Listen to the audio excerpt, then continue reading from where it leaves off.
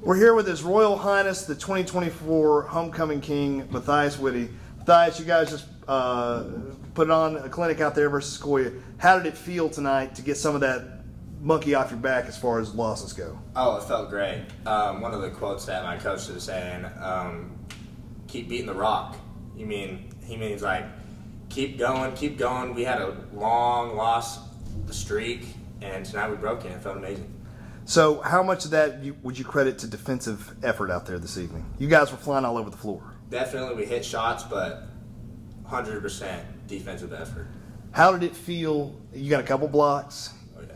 You were you were finally finishing underneath. Found that soft touch we've been looking for. Those little leaners, using some bank shots, playing in the paint there. Th- and by the way, I thought you were going to dunk it. You told me today at school you're going to dunk it. I thought you were going to on that one, but oh, you, because I was grabbing Yoakum's arm, I was like, he's going to do it.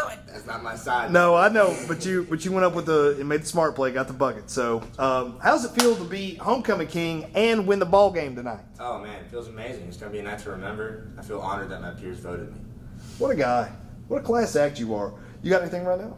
Yeah, I was just going to mention, uh, you know, McNabb goes down early, uh, senior leader on the team. Uh, just how, how'd you feel kind of putting the kind of the weight and the pressure on you now because you're one of the more experienced players out there and, and getting it done? Oh man, there's no pressure at all. I knew that whoever was going to take his place would step up and do their job, and I knew that I was going to keep on leading. So So the defensive effort this is going to carry over next. We've got two more home games next week, right? Then we got another big match, Battle of the Bridge, Loud next Friday, and this district tournament. Mm-hmm. So, are you looking forward to this postseason? Looking forward to trying to carry this energy from tonight? You know what they say: keep that same energy, right? Yeah. Y'all gonna keep that same energy next week? oh for sure, I think we got to go on a run right now. I hope so. This is the time of year to do it. Now, a real question, me and you, right here. All right. What is your first royal decree as homecoming king? Oh man, you got to buy me some Dairy Queen or something like that. All right. All right. I'll get you some Dairy Queen next week. We'll get you a Blizzard. Um, winter formal tomorrow. You fired up? Or are you going? I think I'm working.